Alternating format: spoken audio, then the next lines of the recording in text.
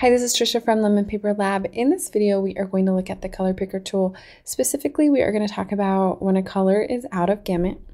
Currently, I have a document open here, and, and then I'm just going to double click on to open the color picker.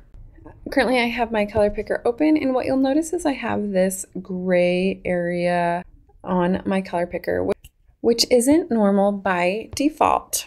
The keyboard shortcut to make it do this is Shift Command or Control plus Y. And we can see it gets me back to normal. And then if I do it again, Shift Command or Control plus Y, we get that gray area. The gray area represents the out of gamut colors, which is basically colors that are too bright, that just won't print well.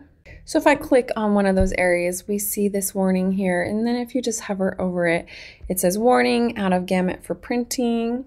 And then you could always click on this area and it will send you back to a color that is similar, that is within the printing range. And then you'll also notice here we have this box which gives you a warning, not a web safe color. And you can always click to uh, select that, which would make it more appropriate for web.